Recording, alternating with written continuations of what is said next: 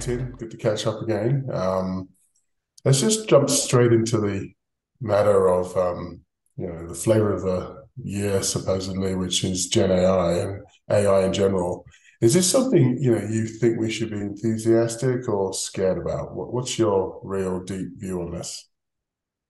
Morning, Phil. I think uh, thanks for having me. It's a it's a double-edged sword, right? Uh, like all new disruptive tech, this is definitely something that you have to be excited about. And at the same time, if you're not acting with urgency, you know, either as a business owner, enterprise, you know, tech company, you have to be scared of it as well because it definitely has the potential of reshaping, rewiring, and resetting the way we think about a lot of things that we do, you know, in, in business today. Not unlike a lot of other disruptive techs, uh, you know, uh, pivot moments that came about in the last 30, 40 years as well. So I think it's it's an exciting time, uh, but it's also a scary time if you if you're not uh, taking action around it. How, how would you think then, with a lot of the developments we've seen in Gen AI, for example, how do you see the value um, for the enterprise as we start to evaluate um, how to take and really exploit these technologies?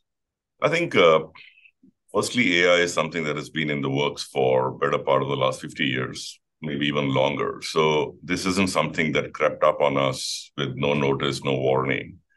Uh, I think this is a, a, congruence of many things that have been under development from compute power to availability of large data sets to uh, in general, the ability to to to start uh, you know throwing a lot of resources at solving these problems. So to me, I think we are we are undergoing a pretty significant uh, enterprise pivot across pretty much every business line. Where if you play this right, you have the opportunity and the potential to take a very large chunk of productivity back into the business. Uh, now, that doesn't mean that you don't have to work for it or, uh, or align a lot of your resources to, to be able to harness the power of this tech. But at a very high level, I think this is definitely something that, that will have a much better, bigger impact from a productivity standpoint. And by definition, that means that we'll see a reshaping of a lot of things that as, they, as they're done today. Uh, skill sets, jobs, uh, you know, people who do manual operations, uh, even software engineers, almost every aspect of uh, of the value chain, you know, has the potential to to adopt AI and, and really do things in a different manner. So, if we look at a year from now, um, what do you expect from Gen AI in terms of reaching this any type of scale, and further advancements or breakthroughs that you're anticipating that are going to change this as well? And finally, what do you think may have disappointed us if we look back in a uh, in the, in a year? So I think Phil, uh, we have to play the long game here. Uh, it's very hard to pinpoint what happens in 12 months or you know 18 months, but I think this is the start of a major journey. Democratization of AI is uh, is is probably the biggest theme of 2023. But let's also not forget that uh, you know as human beings we tend to overestimate the impact of tech in the short run and underestimate in the long run. Right? That's Roy Amara's law. Uh, I think as, as much as uh, you know the the impact is visible, it will take time for enterprises to set up the data pipelines, have clean availability of data, have model management platforms, and by the way, do it in a manner that is traceable, secure, ethical. So I think this is the start of a journey. Uh, while we're excited about it, this isn't something that will reshape and rewire the world in 2024. But it's definitely every year you will see the impact play out in some part of the enterprise or not. So, you know, the conversations you're having with your clients and other folks in the industry, um, what are they overly concerned about and what are they not concerned enough about?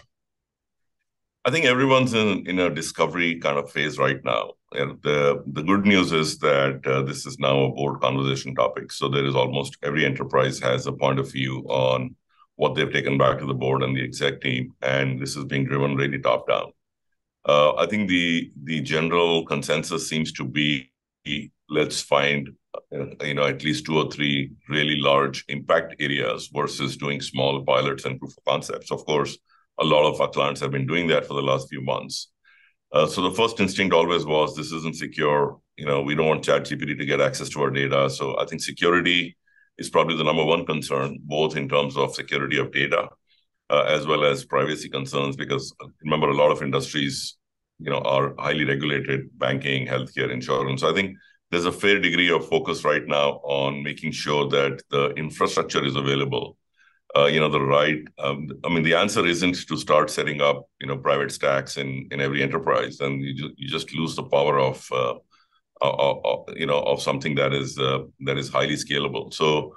I think I would say the next six to 12 months, the focus really will be all on making sure we have the right infrastructure in place. We have the right pipelines in place, we have the right relationships in place with the right providers of, of, of this uh, capability. Then, of course, uh, there is this open debate around do I really want to use a public LLM or should we start thinking about industry case LLM, right? Banking should have its own LLM, insurance should have its own LLM. So I think that that debate will go on for a while until the right answer emerges. And the right answer will probably be somewhere in the middle. Uh, and I think finally, uh, the ability to to really start reskilling people is probably the other third big area that every enterprise uh, is talking about. I mean, if you, if you really think about the debate between AI replacing jobs, I think where the consensus is now narrowing down to is it's not that AI will replace humans, it'll replace humans who don't use AI. So let's just reskill our people and make sure that they understand how to use this technology. Uh, this is still uh, early days, and uh, I think if you just stay forward leaning and you just you know make sure that that you're finding the right application areas without getting very focused on small use cases i think 24 will be a very exciting year. Okay so a broader perspective than just tinkering at the edges. Interesting. Um, so in terms of your own business um, how fast do you feel you have to move particularly in the services industry with skilling up and reskilling a lot of your people and um, you know, what what can you share some insights on how you're doing it? I think we're taking a very forward-leaning approach. We are being very bold, uh, and as you know, business is always relative. We have to be faster than the next guy, and hence, I think agility and and ability to construct solutions fast uh, is something that we're really really focused on. Uh, I think the the other thing to keep in mind is uh, we have seen these kind of pivots before. Of course, this is a much bigger one, but whether it was adoption of all things public cloud right? Virtualization of of uh, applications. Uh, effectively, the bet we made in 2016, 17 was the data center of the future will be an empty room. And again, you know, we've seen the impact of that in the last five, six years. Uh, we are saying we are taking a very similar, you know, approach here in terms of of really forward focusing on how can we solve more complex problems that accelerate the entire tech transformation agenda for for a number of enterprises because they're dealing with a, a plethora of, of legacy issues this is uh, this is not RPA. This is really super turbo boosting a lot of manual operations that happen in the back office. As we look at it, the broader society, how things are impacted, um, and arms races with who's going to take the lead here. Obviously, India's um, been incredible in terms of building up such a hotbed of tech talent over the last thirty years or so. Um, how is this going to impact India? Do you think that this will further accelerate development, or do you think there's going to be some period of um, rebalancing as uh, other providers, other countries may may try and get ahead with with tech development here? Uh, coming to India, I think we are probably one of the best placed, uh, you know, both in terms of our local economy and more importantly, in our ability to actually really create a large pool of talent almost in any new skill that is required, primarily because of the way we've we've embedded this industry, our industry, into the educational ecosystem from from an engineering and and uh, design standpoint. So I think uh, the grassroots foundation level, in, you know, uh, connection with our industry is very strong. Uh, we have the ability to start creating, you know, large pools of talent. We've seen that before. Uh, we've seen that around Y2K. We've seen that with digital. We've seen that with cloud. We've seen that, of course, with, with IT operations. We've seen that with business process operations.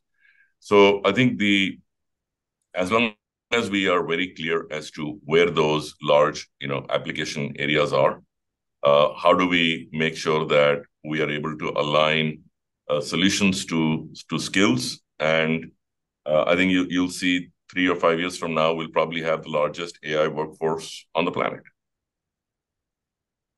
Well, on that note, largest AI workforce. Um, coming from India. That's tremendous. Um, this has been awesome. I really enjoyed a lot of your insights. Um, humans under threat from AI. Are those not doing AI? I'll take that away very much. Um, and the um, the way industries are evolving, we just got to keep moving forward. So I really appreciate your time. I look forward to sharing this with everyone.